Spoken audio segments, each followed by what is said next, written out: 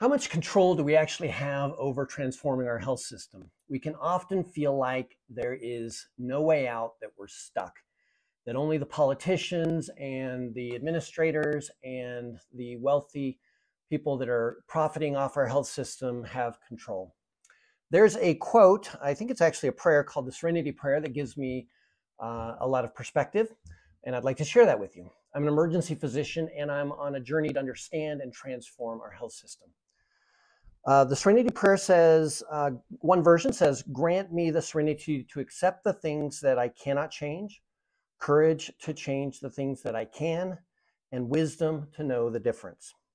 So for me, it's been helpful to just, uh, instead of getting really angry, although I think there's a role for anger, uh, or getting really frustrated, I think it's helpful for me to think, what can I control?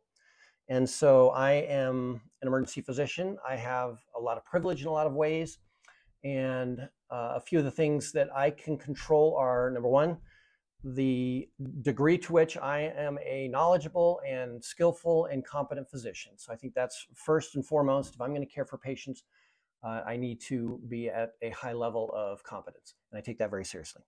I think another thing that I can control is being present and uh, actively listening to my patients and empathetic. So trying to consider their perspective and the journey that they're on. I think another choice that I have uh, as I think about transforming our health systems, there's a number of other different uh, avenues that I could uh, that I could go into, and at some point I'll share a video that that goes more more into detail in this. But I could perform research and publish academic papers that help to give us more data and knowledge around the problems and issues and way forward with our health system. I could become involved politically with either a political party or a political candidate. I could choose not to become overly tribal when I am involved in uh, politics. I could be involved in social media like this and share a message with others. Um, I can choose to learn more about the issues surrounding health and healthcare. I can choose to write a book that inspires others or hopefully inspires others. Uh, so those are some of the things that come to mind that I can choose to do. I'm sharing this only uh, to give you ideas and, and to hopefully uh, land with the idea that we, we can all, there are some things that we can all control. And if we can all do 10% more or something like that, I think that we could reach a critical mass and a tipping point for transformation of our health system. Let me consider uh, a wealthy CEO of a hospital corporation. So this person uh, has worked hard within the current system, the current flawed system that's uh, based on profit to a large degree.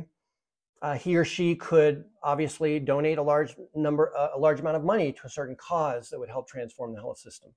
She could um, open the door and create safe spaces for hundreds, thousands of people within her corporation to share and implement transformational ideas.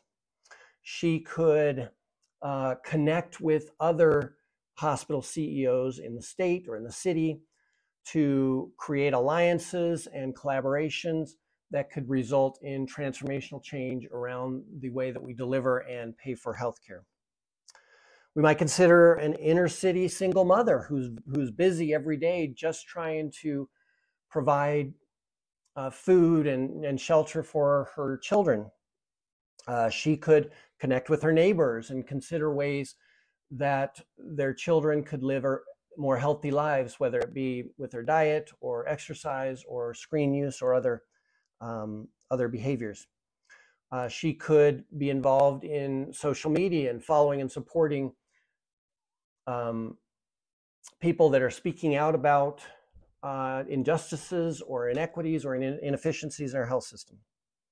We might also even consider someone who is experiencing dis- disability. So maybe someone who can't use his legs, um, but can use a computer and writes or blogs or mobilizes or advocates around health systems transformation.